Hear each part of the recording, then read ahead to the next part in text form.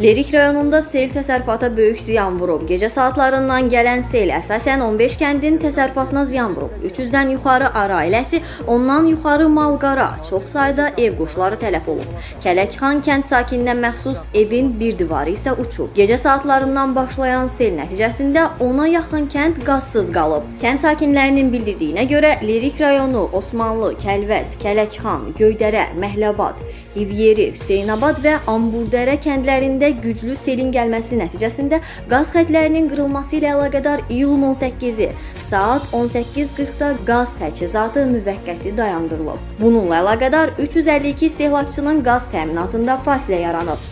Hazırda Fövqəladə Hallar Nazirliyinin xüsusi komissiyası ərazilərə baxış keçirir. Kəndlər arası yollar, elektrik enerjisi və qaz təchizatı bərpa olunur.